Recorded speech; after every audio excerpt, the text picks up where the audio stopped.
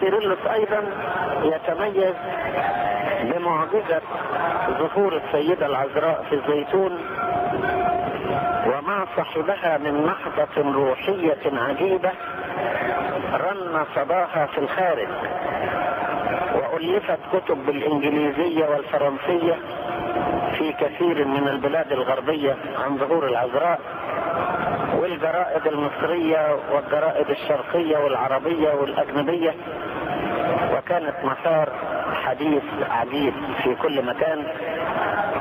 وألف البابا لجنة لتقصي الحقائق. وكانت تجلس مع كل الذين حدثت لهم معجزات من العذراء. وتأخذ شهادات هؤلاء الناس كتابة أو صوتا. ووضعت كتب في هذا الموضوع. وكانت بركة لهذا الجيل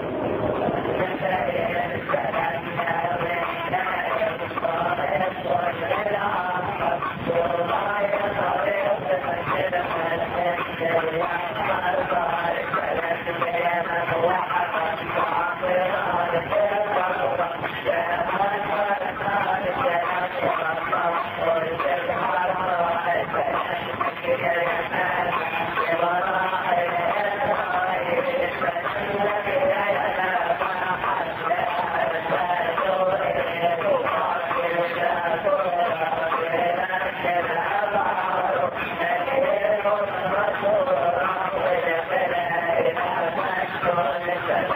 Hare Rama, Hare Rama, Rama Rama,